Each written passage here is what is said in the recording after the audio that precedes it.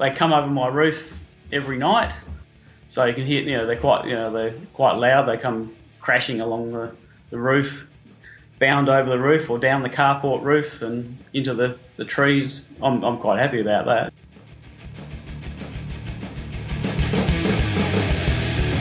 You are listening to Urban Wildlife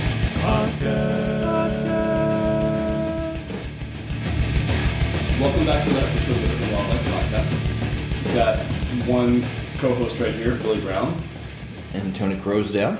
and guest co-host. Christian Hunold. And this is what your third or fourth time with us? No, my third probably. We're Yeah. having him back as a this is kind of a repeat or a second part episode, which might split up into two parts of a second part episode on rac- things like raccoons. Is like the most concise way I thought about to put it. what mess, uh, omnivorous mesofauna that might be in your attic. Um, is another way to think of it. Um, whether your attic is in Melbourne, Singapore, Philadelphia, or North Dakota. That's the idea. Why don't we start with some comments? Well, why are you why are you doing that? I'll give you. A, um, I thought this was cool. I I was talking to Bill Thompson. He's the um, guy who runs Birdwatchers Digest, right? Which is like the birding magazine for America, if not the world. And um, he does a podcast. Uh, he does a couple, and he does this birding life. And so he's he's doing this birding expo thing in Philly, like kind of like the British Bird Fair. They did it in, in Ohio where he's from, and now they're moving to Philly for the next two years. And so I'm going to host them like a meeting about it at the, my environmental center. So I was talking to him on the phone, and he, I get a, you know, I hear his voice. He's like, you know, Bill Thompson. I was like, well, I know that voice anywhere because I listen to your podcast. And he's like, oh, I, well, I listen to yours. So that was kind of cool. The, the, um, Hey! to uh, you know my first like cro- podcast like crossover like recognition. I think I mean we've done a crossover podcast, but it's not like the um, in defense of plants was listening to us that we know about before, or were they? But if they are, Yeah, we, we- we're a big fan of the podcast. um, also Field Notes we've been really enjoying. Um, we also enjoy Field Notes podcast silly plays on words because they think like we do. Yeah, Like what was the pokeweed episode called? Pokeweed every day. yeah. Sorry. Um, and they had a they had a funny episode on the subnivean layer, the subnivean zone, which is what happens underneath the snow in the winter and all the life that is underneath the snow. It's the subnivean zone, a winter underland. yes. All right, so so we had a good comment from someone named Eric Umildad who said, "Yo, bro, I really enjoyed the May second episode. Great stuff and content. Awesome." We got a message from Jim Greenway that said, "Hey, when is there going to be an exotic invasives and synanthropic organisms ringtone or text tone?" Wow. I hadn't even thought about that. But now we can do it. Yeah. we can All do it. I was thinking about shirts the other day too. About what? Shirts. Shirts too. Because we were up on the top of the, I was up at City Hall banding. Well, not, I wasn't banding. I was just were you the broom guy? No, um, this there was a um, Teresa from the Academy of Arts and Sciences was there because they're getting um, ectoparasites. So Therese was For collecting the ectoparasites. Yeah, it's- it's I know usually- dusts them for ectoparasites. yeah, but Therese actually studies the ectoparasites and like does ectopar you know Oh, say yeah. taxonomy. So um, Therese was there to get them. So Have you seen their ectoparasites? I have not, no. They're freaky looking things. like uh, hippoboscids, these these flat flies, and so Teresa's there to get those. So it was an extra hand, and then the, I think uh, one of the game commission higher ups was there, so there was a lot of game commission people. So uh, there wasn't really need for me to be up Ah. there. So what I think next year, what I might do is, uh, if Art knows he's going to be well staffed, I might actually set up down below at La Colombe across the street because that's the best vantage point You can watch it from the outside. and because that's the one day you know you're going to get a lot of falcon action. 'Cause Right. They flip out every Right. other day. Right, Like right. you might see, you might not. So I think that'd be really cool. I mean, granted, it's usually on a weekday, but Yeah. No. you know, people can just come into work late or whatever. You know, Right, right. How many uh, nestlings are there this year? three, Okay. two males and a female, and one egg did not hatch. Right. Okay, so we got some good video up on Facebook, and you tweet it out also. I'm not. I don't. I don't think so. I, I will do that. We'll, well, we have we'll have by the time you listen to this, we'll have great video both tweeted out and on Facebook of Tony looking out over City Hall while angry female peregrine, no, angry. Well, I think it was a female, but angry, You know, I have to look at the bands to tell. I th- it feels like it was the female, but I'm not sure. angry parent peregrines tell Tony what they think of grabbing their babies out from the nest box and manipulating them for a while. People were very alarmed about the broom. They're like, "What's the broom for?" And I'm like, "We're not swatting them with the broom. It's just they're gonna go after the broom over your head because you know." And this was one. This is one of my proudest moments in in Have when you I was. have you done this? Yes, I was the broom guy. Okay. It was, All right. Yeah, thanks. All yeah. right. Was it good? It was fabulous, Yeah. Christian. You're getting impatient, aren't you? No, no, no. It was a lot of fun. Good. I got to be the broom guy, and I remember asking Art, "Do you want me to swing it or just block him?" He's like, "Just block him. like, don't swing it." You did it on a bridge, right? I did what? Were you on a bridge? This was City City Hall. Oh, like, yeah, okay. Like four years ago. I don't know. Um, but it was a lot of fun. Um, Have you? Does anybody banned or do anything with the red tail nests? No. No. And red tails are just so ubiquitous. It's- Yeah, I think so. There's there's no, no least concern. Nobody's concerned about Yeah. the species. So Is- How do you keep track of which ones are which? Just you get look, used to looking at them, and you're like, "Oh, that's yeah. T one. That's T three. That's okay." Well, I mean, the adults are easy, but you know, you get to know them as sort of individual birds. But uh, you know, the fledglings initially all look alike, and then their personalities gradually emerge, and they look a little bit different. Okay. So Yeah. That's a, you know what we should do that as a bird Philly trip one day is uh, walk from one to the other, right? Walk, Oh, right, yeah. Walk from City Hall to no, that'd be good. yeah. Oh, now, but you know, I think they have at least one fledgling at Eakins Oval, maybe two. Yeah. we don't know yet because they're you know too small to. Yeah. Do they interact? Like, do peregrines like shoo away red ta- Yes. tails? Or? Yeah, at the nest they would. Yeah. Okay. I once saw when I was a bike messenger. I might have mentioned this as, as a like a retroactive wildlife bling. Yeah. But um, when I was a bike messenger, I heard a peregrine calling, and I stopped and I looked up and I saw a red tail, and I was like, "This doesn't make any sense." I was like, I, I hear a peregrine, but there's a red tail, and then I see the peregrine dive bombing the red tail, and it was at the flying around the PSFS building, which I don't think Yeah. is there anymore, right? They just signed that at least. Get, getting getting a little too close to the nest. Yeah. Right. Um, so the and I'll just refer everybody back to the Urban Raptors episode from last year, June sixteenth, when we talked um, a lot about raptors in general, including about the peregrines, and had some recordings of us up at last year's peregrine banding, maybe the year before, but uh, a past peregrine banding. Um, And we're currently drinking Walt Wit by the Philadelphia Brewing Company, and um, the Walt Whitman Bridge has a prairie falcon nest. there you go. Yeah. How is so? This is I think we're catching the end of the spring neotropical migra- migration.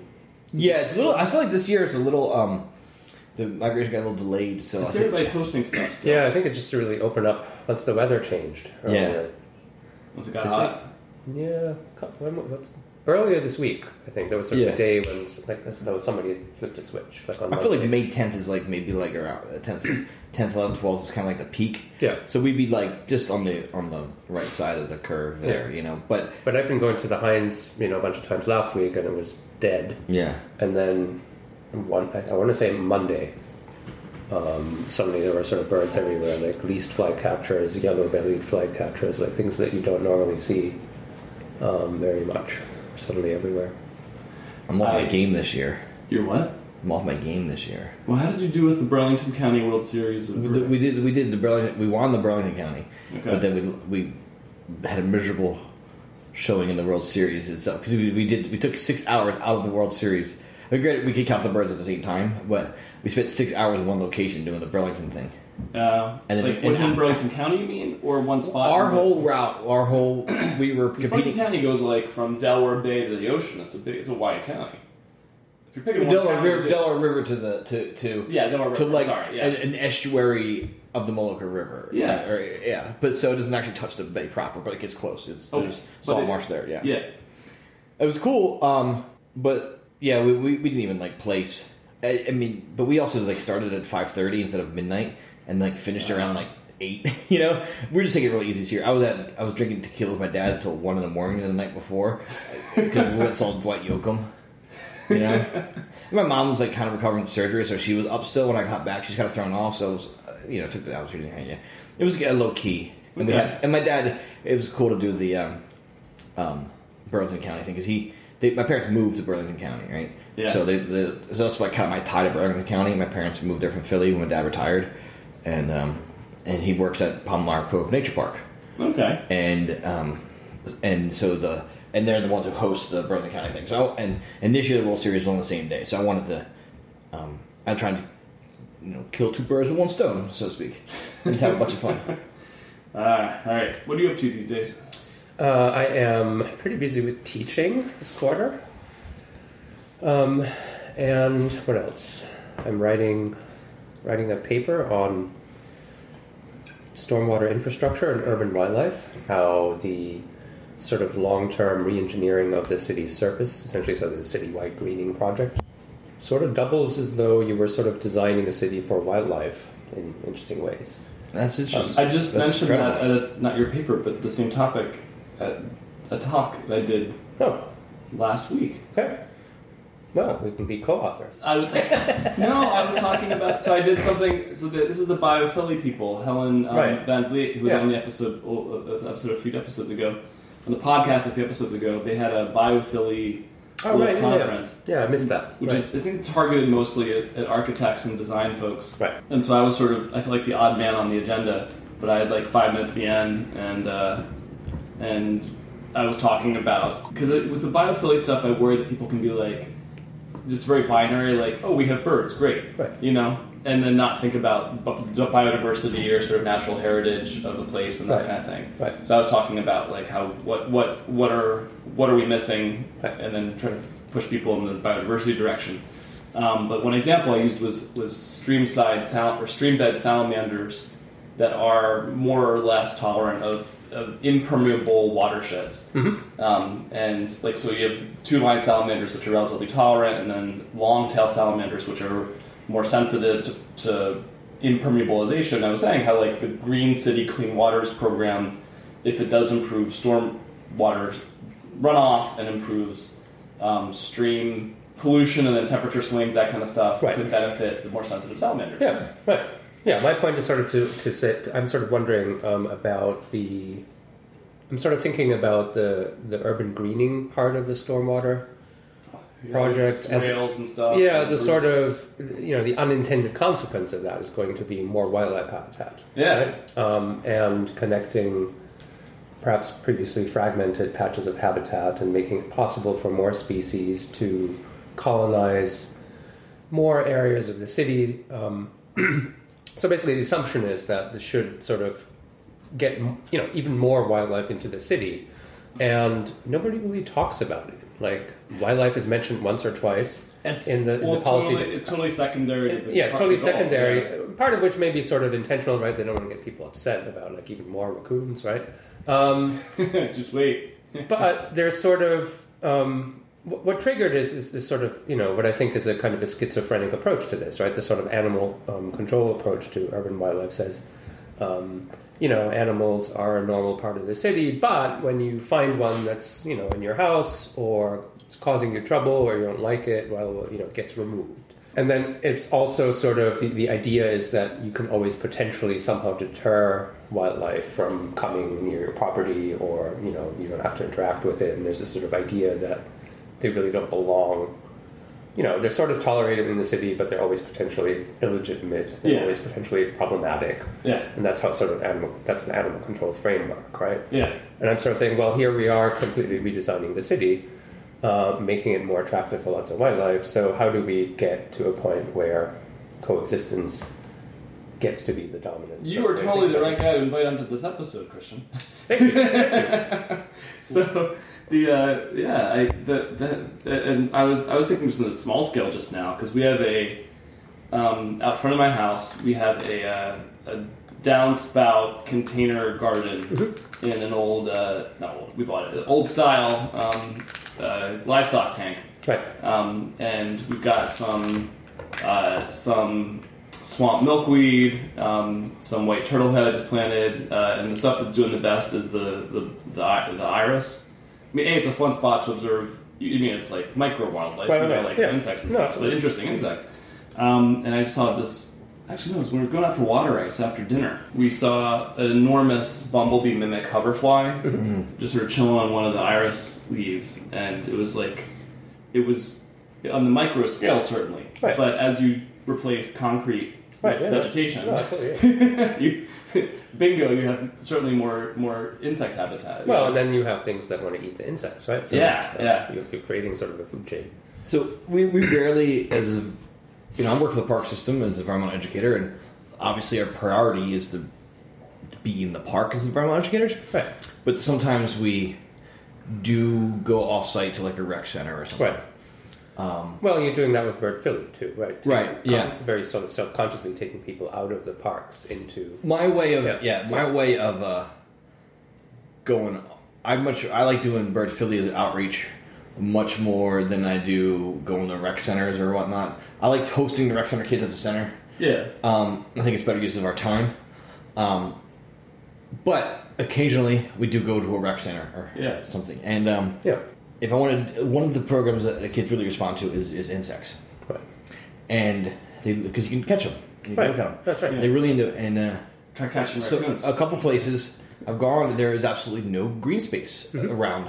There's none at the, at the rec center whatsoever. Yeah. And so the, the place I took them to was the was the nearest water department green stormwater you know infrastructure spot. Yeah. And we took out the sweep nets, and they got you know cucumber beetles and and lady, lady you know ladybugs and bees. Although I I tell them not to not to. Put, I'll capture the bees for them. I'll, you know, but yeah, I mean, that's been what they and How does that work? and so like, you know, sometimes that's the, literally the only patch of green space is these, is these, Yep. you know, and and there's life in them. You know? Right, no, so absolutely. it's really cool. Yeah, Great. and there's like a. I feel like I've read articles more on the herpetological side. It's not urban focused as much, but looking at like how frogs colonize stormwater drainage um, swales and things, yeah, yeah, like yeah. next to parking lots. and Right, that right, kind right. of thing. Yeah. Um, so it's a. Yeah. toads breed in the swale at the Vermont Center. Wait, which envi- like you're Wait a in second, yeah. Oh, okay. It was kind of crazy because it's like there was a, I mean, there's Yeah. tons of habitat for toads there. Oh yeah, it's kind of remarkable. and those toads are pretty. it- This is funny because there's this guy who I know um, from an article I wrote about native plant gardening, which is kind of connects. Um, John Janik. He now started up a plant company which I buy from called Good Host Plants. But they did not pay us for that pitch. I just like them.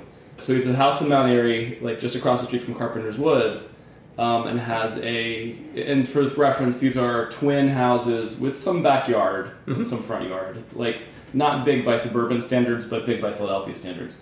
And the dude like has gone. He's gone like overboard in a great way, but overboard in a great way about native plants. Like every inch of his property that is not occupied at some point in the moment by car, the car doesn't drive over it, is planted with native plants. He took his backyard and put in a little pool, um, like a you know, sort of landscaped pond, but within like two years there were green frogs and and American toads And bre- is- is- breeding in his backyard. Is it true they'll hitchhike on the legs of ducks? That the eggs will? I have heard this. I have. I don't know much about it. It's one of these conventional wisdom things you hear, Yeah. but I don't know. So how goes the paper writing? Um, good. It's. Um, I think it's ready. I'm uh, presenting a, a draft at a conference in Tucson in June. Wow. This is the paper I was. I looked at. I think so. Yeah. I think Yeah. I looked at an earlier version of it. Are you going to be in Tucson? You're going to get some time out in the desert or up in the. Maybe. Yeah. I think I'm going to spend uh, two or three days sort of traveling around. We look forward on Flickr. Yep. Exactly. Yeah, your pictures are phenomenal. They're ridiculous. Yes, we should say that again. Um, we'll link to this stuff, of course, but you can spend. You can think you're just going to go check out Christian's Flickr account, and you'll spend like a day you should be doing work, like flipping through pictures. I've done it. I mean, I, w- I would probably put you at the number of, of the people that I know who are uh, pho- like, and I and I have a lot of friends that do it and they're Right. very good, but I think you're probably like number one. I mean, my favorite things to photograph are sort of. So that, um, there you go.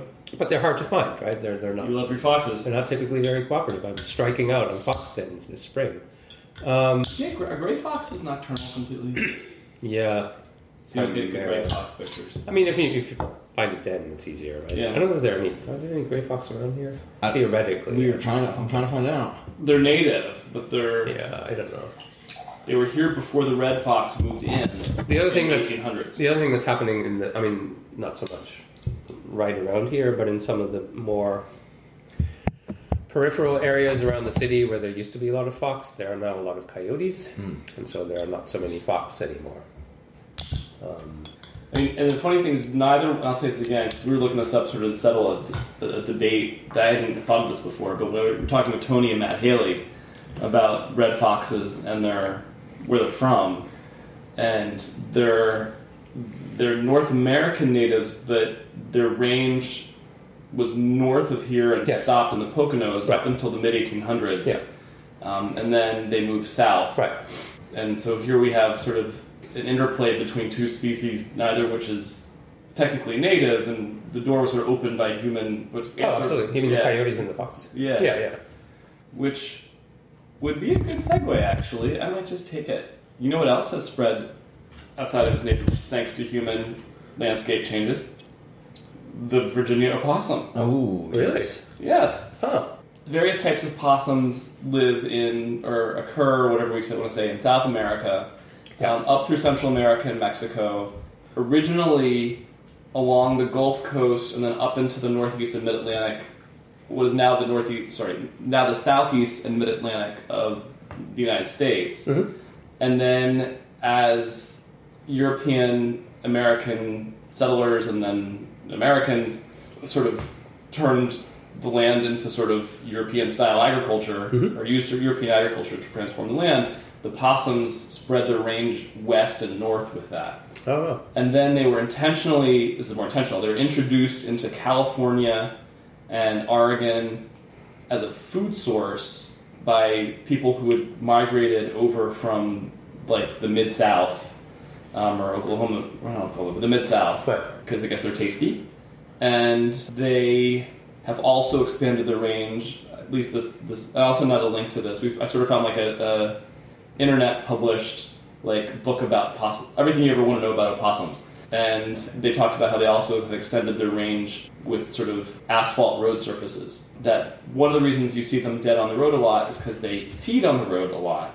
Because they go out there to eat the dead bugs or dead snakes or dead mice or dead birds, whatever else that we don't really. All the roadkill you don't see very well because you're going too fast. Right.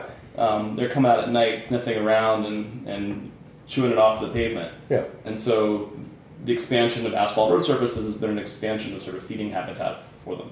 I, I had reached out to Jeff Foulkes on a recommendation from someone on Twitter who's doing some Australian possum research, more in um, more in rural or, or wild areas. So she was doing a project where she was reintroducing possums to um, to uh, wild areas, and then I asked about urban possum stuff. She's like, I don't do it myself, but you should talk to this guy, Jeff Foulkes, who then we talked to um, and talked all about uh, the possums. A good introduction to possums in general um, of Australia and particularly of South Australia.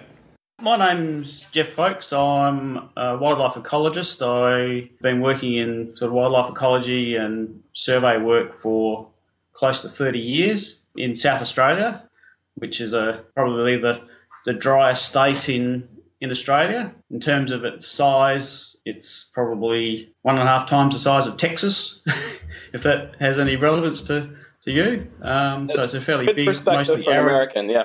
um, so I've been doing that sort of work in mainly South Australia and the Northern Territory over those years. So, and I studied brush-tailed possums uh, for my PhD in Central Australia. So, in the MacDonnell Ranges, east and west of Alice Springs, and also west of Uluru Ayers Rock, which most people will probably be familiar with. And and currently I'm working for the Nature Conservation Society of South Australia. Well, the brush-tailed possum uh, it used to occur across most of Australia, and probably their decline started in the 1930s, and and so across much much of their range, particularly in arid Australia, they've become extinct.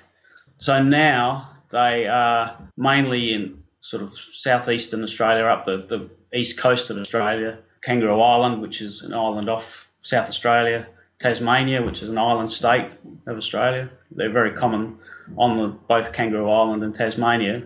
And probably in the very southeast corner of Australia, they're quite common, but their range has declined. So in a lot of places, their stronghold is in urban areas. in terms of the size of the possum, they they range from about four and a half kilos down the bottom end of their range in Tasmania to about one and a half kilos in weight in the tropics. So you can see there's quite a, a range in their, weights. So and also in their colour as well. So like typically around Adelaide, they're like a, a silvery grey colour, but up in the tropics they can be sort of a coppery colour, and in Tasmania they can be almost black. Um, they've got a, a strongly brushy tail, which is sort of partially prehensile, if you like, so uh, they can sort of hang around on branches or use their tail to sort of provide a bit of support for them uh, when they're climbing around the trees. Do we know Um, why they went into, into decline? It's a combination of factors. So it's introduced predators, foxes, also the impact of rabbits. So rabbits were introduced to Australia, European rabbits were introduced, and they caused a lot of destruction to various habitats across across Australia, and they still do. And also, uh, Aboriginal people used to do a lot of burning across the landscape and sort of creating a patch. And uh, when Europeans settled Australia, a lot of Aboriginal people were sort of moved off their traditional lands into missions, and so a lot of the traditional burning practices stopped, and so big fires burnt across the landscape, and that sort of changed the structure and the composition of the vegetation, and and, and in doing that, took out lots of food uh, resources, but also you know killed a lot of animals um, in the process as well. So you know, across their range, they used to live in uh, like termite mounds out in the, in the central deserts where it's basically spinifex grasslands. So they, yeah, they used to live in that sort of country into the mainly the forests and woodlands of sort of southeastern and eastern Australia. Why do you think that they have persisted in urban areas? Uh, because there's lots of shelter, there's food in people's gardens all year round. So, you know, they can eat people's vegetable gardens and they can eat roses and, you know, a whole range of things. Plus, there's nice warm shelter that they can get into. Um, and that's why they're considered unfavourably in the urban areas because they get in people's ceilings um, of their houses. They're known for sort of urinating in the in the ceilings and, and making lots of noise, and so which is, makes them very unpopular. Do they have any kind of special conservation status because of their more general decline? They do actually in South Australia. They're rated under the National Parks and Wildlife Act. They they don't have a national rating, but in South Australia and the Northern Territory, and I'm not sure about other states, but yeah, they certainly do have a, a level of protection in, in some states, but not at a national level. Does that protection affect how, like, let's say homeowners are allowed to deal with them? the uh, possum catchers come and, and remove possums from people's houses and, and move them out. But moving possums from where they get caught somewhere else actually ultimately leads to their, their death because they're very territorial animals. So if they get taken from your yard and put somewhere else, they basically yeah, they'll, they'll eventually die because of the they get basically beaten up by other possums and, and starve to death or there isn't shelter for them. So so the, the best thing that people do is actually when they leave the their shelter in the, the roof of a house at night, block up the hole um, so that they can't get back in there, so that they can actually find shelter somewhere else that's local, um, you, you know, like in a, a tree hollow. And a lot of people put up nest boxes in their yard so they can actually set up residence outside in people's yards, and people are quite happy about that in most instances. So it, is a common problem. Have you ever had to deal with one in your house? No, but they they come over my roof every night, so you can hear. You know, they're quite you know they're quite loud. They come crashing along the the roof. Um, they come from the shed and they cross from the the shed along the power line to the roof of the house, and they bound over the roof or down the carport roof and into the, the trees. I'm, I'm quite happy about that. You know, it's good to hear them, and you can hear them fighting at night um, or um, sort of defending their territories. Wait, They're what, does that, what does it sound like when they're fighting? Uh, they're sort of screeching at each other. Uh, yeah, so a lot of it's just warning calls and threats. But um, sometimes you come out in the yard at night and find you know patches of fur on the ground where they've been fighting up in the trees and they've stripped fur, fur off each other. how is like a ringtail possum different from a brush-tailed possum? Oh, they're a lot smaller and they're, they're more restricted in their range in terms of ac- across Australia. They're sort of more around that eastern coastal fringe, and they're in southwest Western Australia as well. They do get into people's houses, but not as much. They tend to make a, a nest up in a tree called a dray, and they sort of pull branches together and make a, a nest up in a tree and uh, and live in there. And they tend to eat eucalyptus, you know, uh, foliage rather than people's vegetables and things like that and flowers. So they they tend to sort of eat native flora rather than yeah other vegetables and, and fruit in people's gardens. And they're much quieter. You know, they you, you see them getting around at at night on, on power lines and along fences and things like that, um, but they're less noticeable in the urban environment. Do you know of, or I guess, are there Australian cities that are that are sort of looking at the possums as like subjects of, of sort of specific conservation programming? You know, p- people tend to you know promote nest boxes you know, for shelter for animals. So you know, people still like to have them around. You know, people are obviously concerned about the impact of urban activities on possums. So you know, one of the common things that affects ringtails in particular is electrocution on power lines. So people sort of make an effort to, I suppose, try and keep them out of the off the power lines. It's when they reach, like they can get along power lines. It's when they reach from one to another that's when they get get killed.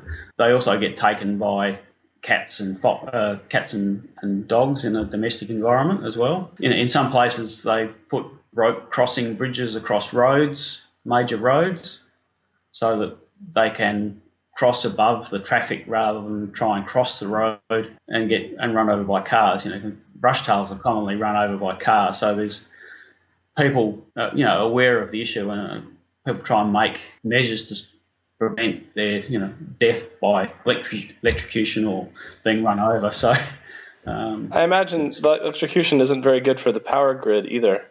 no, you know, the lights flick, flicker a bit, um, but. Uh, uh, but a lot of the time you don't you don't really know, and or you go for a walk and you sort of see because ringtails have got a prehensile tail. Sometimes you'll see them hanging dead from a power line by their tail, you know that sort of thing. So Synanthropic organism. And I'll point out, for Tony's benefit, he agrees, but he actually asserted himself that theirs look better than ours. Depends on what you like. First of all, we only have one, Right. and it's very like you know, thin, narrow nosed, and like a like a It looks like a big rat, yeah. and its hair always looks messy, But it's, it's, Yeah. I think it has this. They're, it's charm. especially when they're little. I think they're kind of cute. The, the little are adorable, Yeah. but their possums look like Isn't there sort of a semi-famous uh, pet opossum in West Philly, Trash Cat? Have you met Trash Cat? Check on Facebook. I'll look it up. Yeah. yeah. my friend Heather Squire is obsessed with possums. What in what way? I mean, in a they're- happy they're- way or? They're, they're actually they, they make. I mean, you know, don't tell the game commission, I suppose, but they make they make apparently semi decent pets. They don't live very long. I think their lifespan is two years, maybe tops. Well, the two years in the wild, apparently they can make it to like four. In Oh, they can? I captivity. didn't know that. I thought they were sort of programmed to self-terminate around 24 months. But, It's, it seems like it's a little long. you- Okay. They are they are they don't live long. right. Um, and there's an interesting sort of natural experiment to this effect where there's an island, I think off the coast of the Carolinas, I can double check it, but that where there's a predator-free island that has possums Okay. and has been so for like thousands of years. Oh wow. And the possums there live twice as long as the mainland possums. Oh okay. So there's some thinking that they're so easily eaten by Yeah. other things that there's no evolutionary point in living long. Oh Yeah. right. Okay. So hmm. remove the predators, all of a sudden they've got Right. Right. they they could reproduce more if they happen to live longer. Right. Right. right. Genetically, I guess. Yeah. Hmm. Yeah, but they apparently they can be house trained pretty easily. Yeah. So if you get them set up in a cat box and I mean, I wouldn't. You know. I already told the possum story, right? The you told the raccoon story when you were in jury duty. the the, the everybody got loves somebody story. So in West Philly, in my street, there was a possum laying in the street, and we're looking at it and we're kind of like, is it really dead, or is it just playing possum? and it was in the summer in Philly. It gets- How did it smell? there wasn't an odor yet, but Philly, you know, it's not. It's gets very hot and humid in the summers. Kind of So- like right now. Yeah, so not really like the May. conditions conducive to like preserving something um, long. And these, these two gentlemen walk up, and the guy goes, "If it was the winter, I'd take it home. I'd burn the hair off it and I'd eat it." And my friend goes, "Man, that thing is too ugly to eat."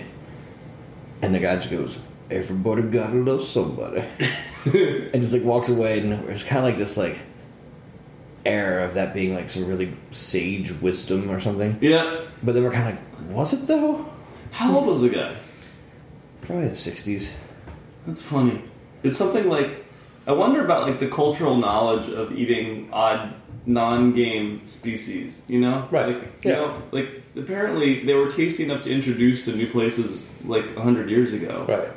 or 150 years ago, and and now you say if you said like come over for dinner, we're serving possum, Yeah. and maybe your adventurous friends would be like, okay, we'll give it a shot, Right, But like, right, yeah. most people. You're at the poli sci department in a drugstore, like, hey, we're serving No, possum no, at the next that staff would- meeting. That, would, that wouldn't fly. No. I mean, I think you could do a squirrel, right, which is sort of a game animal in some Yeah. parts of the country. Yeah, very much Still today, um, and I've tried it once. I can see why it's not served in restaurants. Um, I mean, it is edible, but uh, yeah, it's, Yeah. it's it's on how what is you know what's edible in you know some historical period turns into not edible. Yeah, raccoons are quite edible apparently. I imagine they are. Yeah. Yeah. So we also got a little bit about possums from Rye, who who's a listener. This is my favorite thing. He had heard us like putting a call out for possum stories from Australia, and this is a guy in Perth who does sort of like nature walks and looks for critters. Now we're going to hear Rye talk about possums in Perth. My name is Rye Beaver, and I'm an amateur naturalist based in Perth, Western Australia, getting out mainly at night to look for wildlife and blogging on wildlifewatchingaustralia.wordpress.com. We have a couple of possum species, but the most common is the common brush-tailed possum, and we also have the endangered western ringtail possum, but its distribution is further south of Perth. Perth is located on the Swan Coastal Plain, a narrow strip between the Indian Ocean and the Darling Range, approximately 125 k's from north to south, extending about 40 k's inland from the Indian Ocean. With a population approaching 2 million people, it's quite a case of urban sprawl. I'm a keen user of the social media naturalist platform iNaturalist and was reviewing marsupial sightings in Perth and found a user that had seen a possum in Gosnells, which is about 12 k's from the CBD. I went a few weeks later to the same location in John Oakey Park, which is located on the banks of the Canning River.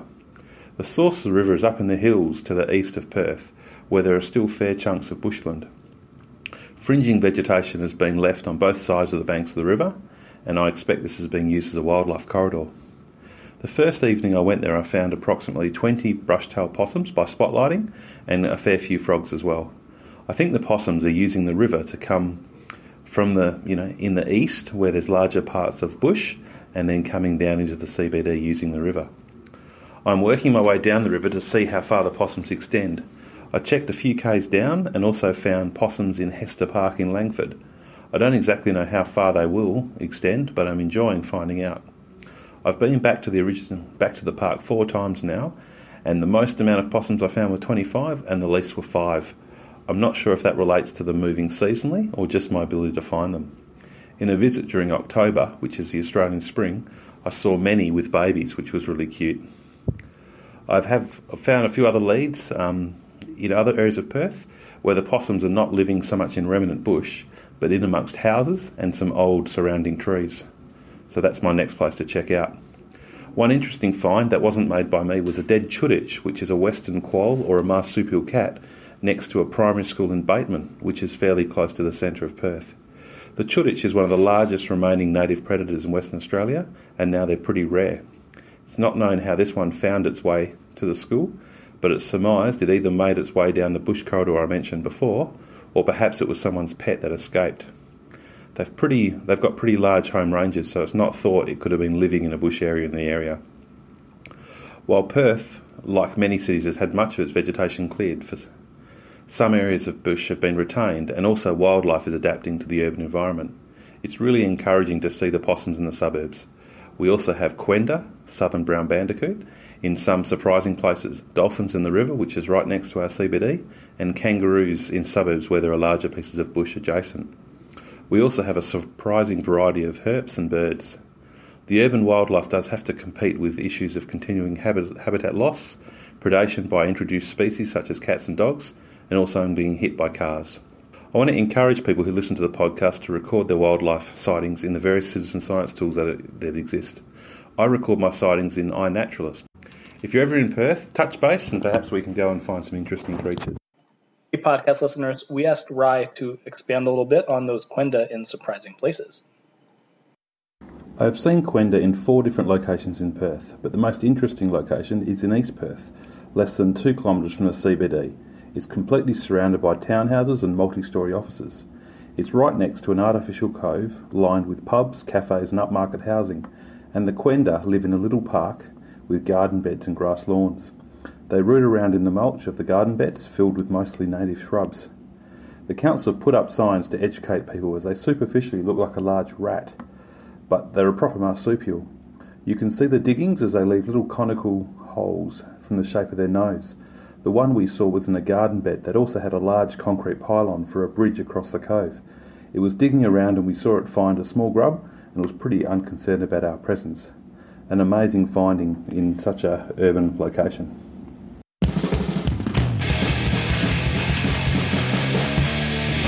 I just was so tickled that we got somebody from Perth. Yeah. I mean, you're an academia, so you communicate with people all over the world all the time. But like, you know, I don't often like connect with people in the like the other side of the planet in the most remote city I can think of. Right. Hey, podcast listeners, that's the end of part one of Cute Furry and In Your Roof. Please stay tuned for part two.